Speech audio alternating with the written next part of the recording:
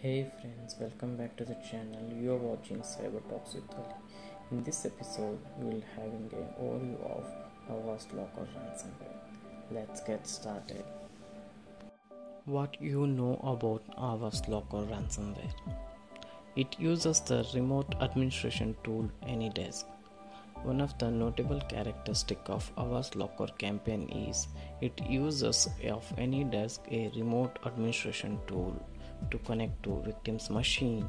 Using this tool, the operator can manually operate the infect machine. It runs on the safe mode.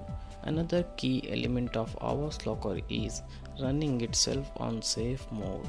As a part of its evasion tactics, the attacker restarts the machine, disables certain drivers, and run on safe mode, thus avoiding certain security measures that are unable to run it in this mode. Operator can also set up certain drivers to make sure that AnyDesk could run even in a safe mode. It is important to note that this was a tactic previously employed by the now defined as Revil ransomware. Operators can auction stolen data.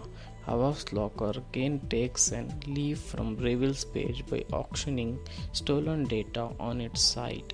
On top of the double extortion schema, this could be group's way for further monetizing a single successful attack or slaving a failed ones.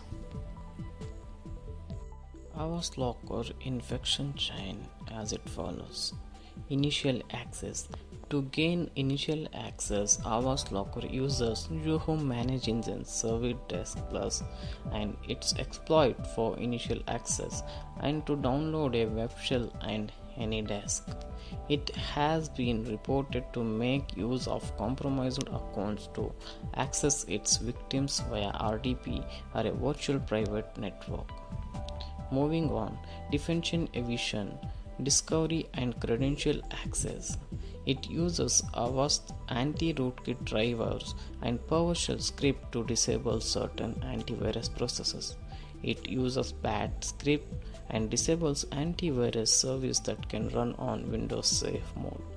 It uses Mimikatz and XenArmor password recovery pro tools to get the credentials.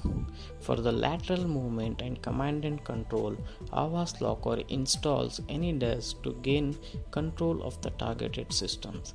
It uses PDQ deploy to push out execute the Windows batch script on the targeted system.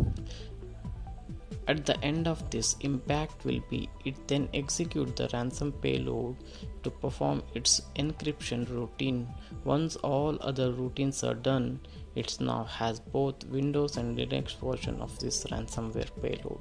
The Linux version is also known terminated as ESXi virtual machines.